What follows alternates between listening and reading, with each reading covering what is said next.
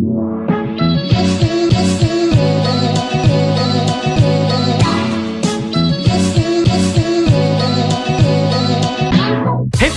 merhaba arkadaşlar. Tonguç Akademi kanalına hepiniz hoş geldiniz. Ben Emre Biçer. Bugün kanalı ben devralıyorum. Bildiğiniz gibi bu sıralar koronavirüs yüzünden hep evde oturuyoruz.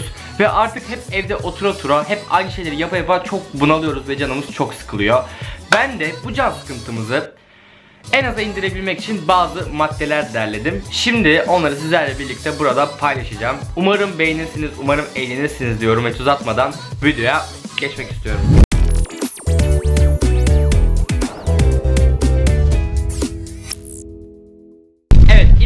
Evde canınız sıkıldığında yapabileceğiniz en basit ve en güzel şey film ve dizi izlemek olacaktır. Filmler bazen bizleri harika maceralara sürüklüyorken bazen de hayatın gerçekleriyle yüzleştirebiliyorlar. Bu gibi evde kalma durumlarında da film izlemek vaktimizin hızlı ve zevkli geçmesini sağlayacaktır. Ben zaten söylemesem de siz izliyorsunuzdur diye düşünüyorum. Ama izlemiyorsanız da canınız sıkıldığında film ve dizi izleyebilirsiniz. Hatta bu maddeye özel 3 tane film tavsiyesi veriyorum sizlere. Birincisi Charlie'nin Çikolata Fabrikası. İsmi böyle saçma gelebilir. Hani şey gibi Ayşegül'ün buzdolabı, Ayşegül'ün tatili tarzında böyle bir şey gibi gelebilir. Ama asla küçümsemeyin. Çok güzel bir film. Hem sizlere harika bir macera sunuyor hem de e, görsel bir şölen sunuyor. İzlemediyseniz mutlaka izleyin diyorum. İkincisi Harry Potter serisi. Böyle film serileri evde kalma durumlarında ilaç gibi geliyor. İşte birincisi bitiyor, ikincisine başlıyorsunuz. İkincisi bitiyor, üçüncüsüne başlıyorsunuz. Böyle bütün gün film izliyorsunuz. E bir de Harry Potter serileri de buna en iyi örnek olduğu için yani mutlaka izleyin diyorum. Yani belki izlemiş de olabilirsiniz. Tekrar izleyin diyorum. Üçüncüsü de arkadaşlar Disney'in Coco animasyon filmi. Şimdi bir animasyon deyince küçümseyebilirsiniz. Ya çocuk muyuz biz falan diyebilirsiniz ama asla küçümsemeyin. Bunu da küçümsemeyin. Çünkü bu da sizlere harika duygular yaşatabilen bir animasyon filmi. Bu film de sizleri hem duygulandırıyor, hem neşelendiriyor, hem de harika müziklerle karşılaştırıyor.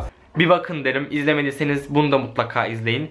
Evet bu önerdiğim 3 filmde bu kadardı. Şimdi isterseniz diğer maddemize geçelim. Evet ikinci evde canı sıkıldığında yapabileceğiniz şey ise yeni kitaplar okumaktır. Kitap okumak da yine film ve dizi izlemek gibi bizlere muhteşem kapılar açıyor. Ee, yeni dünyalarla tanıştırıyor. Bir de üstüne üstlük buna alışık olmadığımız tarzdaki kitaplarla yaparsak belki kitap okumaktan daha da zevk alabiliriz.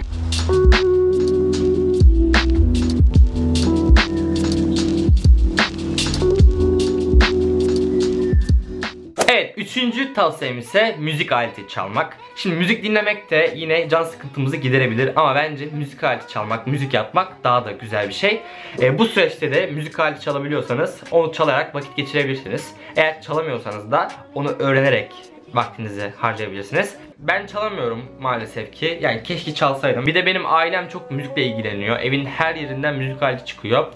Ama maalesef ki yapamıyorum. Ya, yani olmuyor. Ben de anca video video. Yani eğer siz çalıyorsanız da gerçekten helal olsun. Vaktinizi müzik yaparak da harcayabilirsiniz. Ama bir dakika. Ben şimdi çalamıyorum dedim ama flüt çalabiliyorum. Hem de güzel çalarım ben flüt. Şimdi sizlerle birlikte müzik yapacağız. Hazırsak başlıyorum.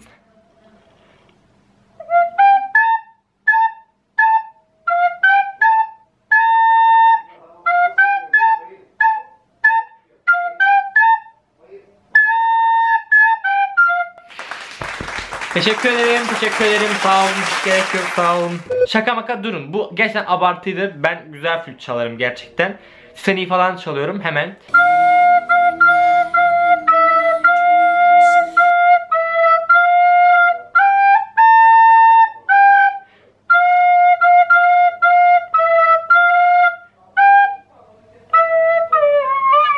Teşekkür ederiz.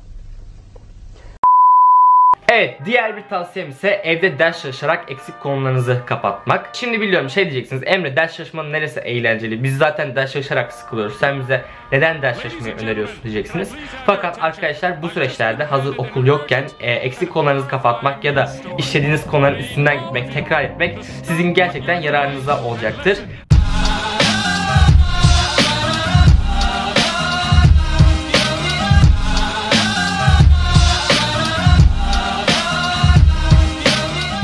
Ekstra YKS ve LGS sınavınız varsa Yani çalışmak bizim için bu süreçte çok önemli. Böyle de hem vaktimizi harcayabilir hem de ileriye yatırım yapabiliriz ders konusunda, sınavlar konusunda. Evet diğer bir tavsiyem ise arkadaşlarınızla görüntülü konuşun. Yani biliyorsunuz ki dışarı çıkamıyoruz, sosyalleşemiyoruz, arkadaşlarımızla görüşemiyoruz ve onları özlüyoruz, merak ediyoruz. E, bu süreçte de arkadaşlarınızı görüntülü arayarak onların halini hakkını sorabilirsiniz. Vaktinizi bu şekilde de harcayabilirsiniz. Böyle de hani yüz yüze olmasa da onlarla görüşüp sosyalleşmiş olursunuz.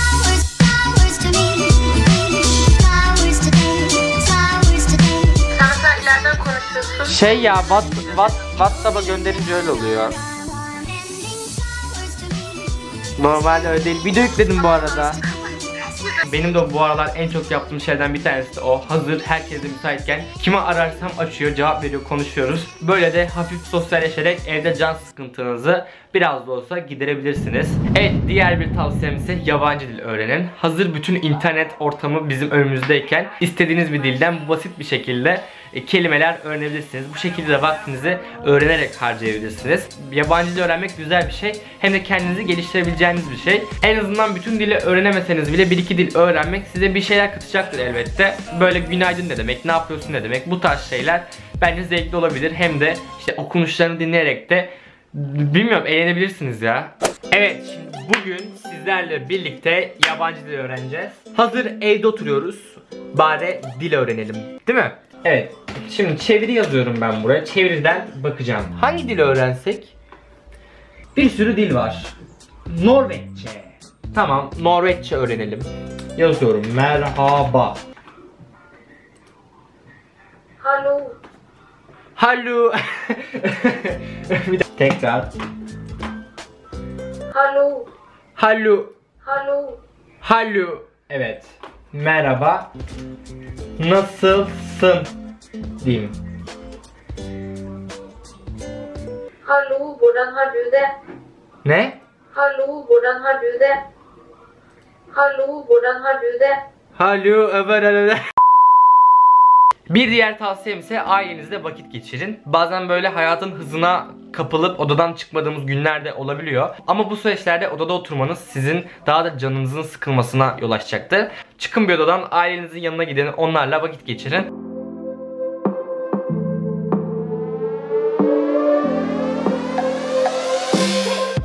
Ekstra bir de böyle evcil hayvanınız varsa, kediniz varsa, köpeğiniz varsa onları sıkıştırarak da onlarla oynayarak da vaktinizi harcayabilirsiniz. Evet oyna kızım hadi.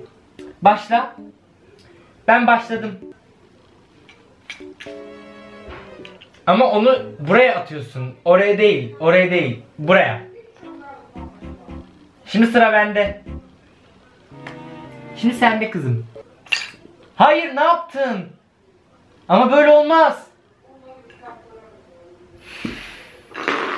Evet diğer bir tavsiyem ise online müze gezisi. Benim günlük hayatımda en sevdiğim aktivitelerden bir tanesidir müze gezmek.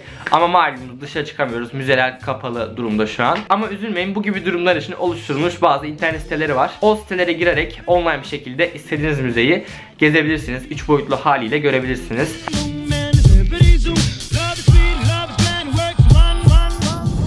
Evet diğer bir tavsiyem ise eski albümleri karıştırın. Fotoğraflara bakarak hoşça vakitler geçirebilirsiniz. Biliyorsunuz ki her fotoğrafın bir hikayesi var. O fotoğrafın hikayesini dinlemek ya da hatırlamak sizi mutlaka neşelendirecektir. Bir de bunu aileniz ile birlikte yaparsanız belki daha da zevk alabilirsiniz.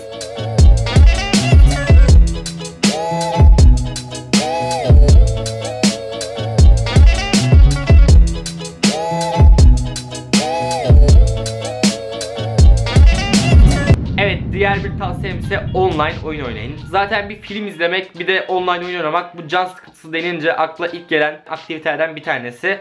Özellikle bir de arkadaşlarımızla birlikte oynayınca daha da eğlenceli oluyor. Giriyoruz oyuna, oynuyoruz, saçmalıyoruz ve acayip bir zevk alıyoruz. Ben söylemesem de siz yine oynuyorsunuzdur zaten oyun. Herkes oynuyor. Biz şu an arabayla biniyoruz. Gizem sen nerede olduğunu bize tarif et. Şu an Gizo'yu bulmaya çalışıyoruz. Arabada benle Merve var. Gizem yok. Bak Gizem insen arabadan. Hey bak buradayım. Burada önündeyim. Bak. Çok iyi ya. Yeni bir arkadaş da edindik. O da bize geldi şimdi. Öyle gidiyoruz. Şehirde dolaşıyoruz. Taktık kemerlerimizi taktık. Evet diğer bir tavsiyem ise resim çizin ya da boya yapın. Benim şu saydığım maddeler arasında en sevdiğim aktivitelerden birisi olabilir bu. E, boş zamanlarımda sık sık resim çiziyorum, boya yapıyorum ve e, çok da güzel bir şekilde vaktimi geçiriyorum. E, biraz da yeteneğimin olduğunu düşünüyorum bu konuda. Üstüne gittikçe, geliştirmeye çalıştıkça daha da zevk alıyorum. Ama üzülmeyin yeteneğiniz yoksa da boya yapabilirsiniz. Hem bu sayede zamanınıza, vaktinize biraz renk katmış olursunuz.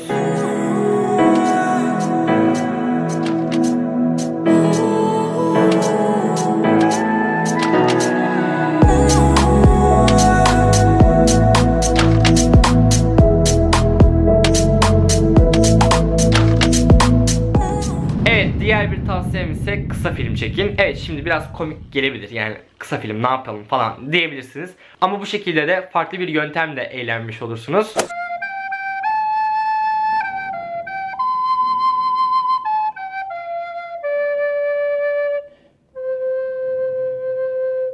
Cenk, uçuyorum. Uçarsın.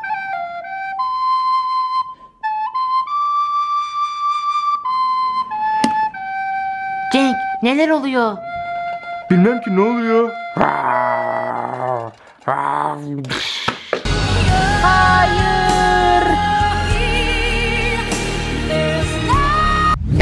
tavsiyelerim bu kadardı. Umarım beğenmişsinizdir. Tonguç Akademi'ye beni kanallarına davet ettikleri için de çok teşekkür ediyorum. Siz evde canınız sıkıldığında neler yapıyorsunuz onu da yorumlar kısmında bizlerle paylaşabilirsiniz. Videomu izlediğiniz için çok teşekkür ediyorum. Başka Tonguç Akademi'nin kanalındaki videolarla görüşmek üzere diyorum ve hoşçakalın. Kendinize dikkat edin.